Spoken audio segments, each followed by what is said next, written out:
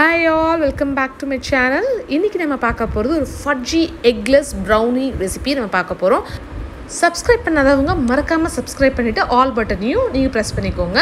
First நம்ம start பண்ண போகிறது வந்து ஒன் ஃபார்ட்டி கிராம்ஸ் பட்டர் வந்து ஒரு சாஸ் பேனில் எடுத்துகிட்டு அதை வந்து நம்ம மெல்ட் பண்ண போகிறோம் பாயில் ஆகக்கூடாது அழகாக மெல்ட் ஆகணும். அது கூட டூ ஹண்ட்ரட் கிராம்ஸ் சாக்லேட்ஸ் நல்லா கட் பண்ணி துருவி நம்ம அதை யூஸ் பண்ணிக்கிறோம். நான் வந்து மில்க் சாக்லேட் யூஸ் பண்ணியிருக்கேன். பட் நீங்கள் டார்க் சாக்லேட் யூஸ் பண்ணாலும் நல்லாயிருக்கும் இது நல்லா மிக்ஸ் பண்ணிக்கோங்க. நல்லா அது உருகி கம்ப்ளீட்டாக உருகி நல்லா இந்த மாதிரியான கன்சிஸ்டன்சிக்கு வரும். அதுக்கப்புறமேலு நம்ம சுகர் ஆட் பண்ணணும். Two forty five gram sugar add பண்ணியிருக்கேன் ஸோ அதை வந்து பவுடர் சுகர் ஆட் பண்ணிங்கன்னா ஈஸியாக உங்களுக்கு கரையும். ஸோ அதை வந்து ஆட் பண்ணிக்கோங்க. இது கூட வந்து நான் திக்கான கேர்ட் ஆட் பண்ணிவிட்டு கூடவே ஒரு பேக்கிங் சாரி கூடவே வந்து வெனிலா ஆசிட்ஸும் ஆட் பண்ணியிருக்கேன் இது நல்லா மிக்ஸ் பண்ணதுக்கு அப்புறமேலு நம்ம மைதா எடுத்திருக்கேன். டூ ஃபிஃப்டீன் கிராம்ஸ் மைதா எடுத்திருக்கேன். அதை நல்லா சீவ் சீவ் பண்ணிக்கோங்க. அதில் வந்து சிக்ஸ்டி கிராம்ஸ் கொக்கோ பவுடர் அது கூடயே வந்து நான் ஒரு பேக்கிங் பவுடரையும் நான் ஆட் பண்ணியிருக்கேன் அது கூட கால் டீஸ்பூன் பேக்கிங் சோடா ஆட் பண்ணுறேன் எல்லா மெஷர்மெண்ட்ஸ் டீட்டெயிலும் கீழே டிஸ்கிரிப்ஷன் பாரில் கொடுத்துருக்கேன். மறக்காமல் செக் பண்ணிக்கோங்க. அப்புறம் கால் டீஸ்பூன் சால்ட் ஆட் பண்ணிக்கிறேன். அது நல்லா என்ஹான்ஸ் பண்ணும். சால்ட் வந்து சாக்லேட்டோட ரொம்பவே என்ஹான்ஸ் பண்ணும்.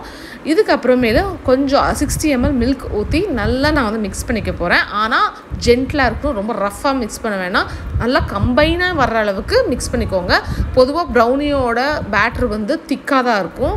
கேக்குது தான் வந்து தின்னாக இருக்கும். இது வந்து திக்காக தான் இருக்கும்.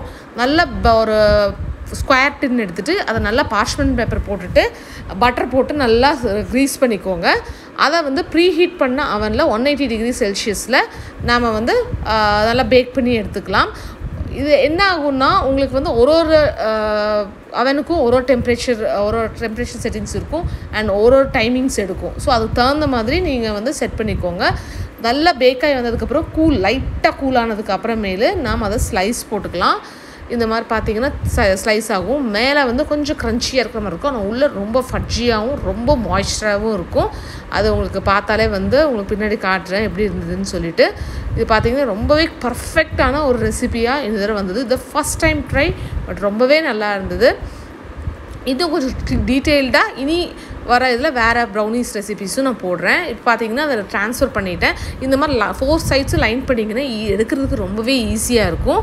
அதனால் க்ரீஸ் பண்ணிக்கிட்டிங்கன்னா ரொம்பவே ஈஸியாக இருக்கும். உங்களுக்கு வந்து ரொம்ப ஒட்டிக்காமல் நல்லா க்ளீனாக வரும்.